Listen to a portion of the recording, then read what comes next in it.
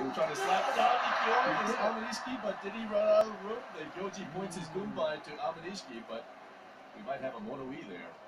It looked to me as though he stayed in, but again, not a bit hard to tell from where we are. Huh? Indeed, the Shimpan stand up. They want to talk this one over.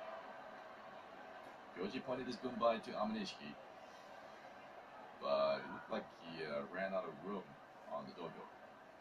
The slow motion replay will tell the story. Looking again, Aminishiki trying to slap down his man at the Tachiai, pedaling back, and Oh, the Gyoji might be right. me The Gyoji might be right. is that yeah, I think the Gyoji is right in that case because um, Ikioi obviously touched down before Aminishiki's foot went. Yeah, right foot was still in the air when Ikioi landed hard on the clay. So if so, it'd be a second meeting. Yeah, yeah, and it's a quick uh, meeting. Normally that means uh, the Shinpan confirmed the Gyoji's call. Here's the official call from uh, Yamashina. 全体 explain what we discussed. The Gyoji's Gunbai was raised for Aminishiki, and we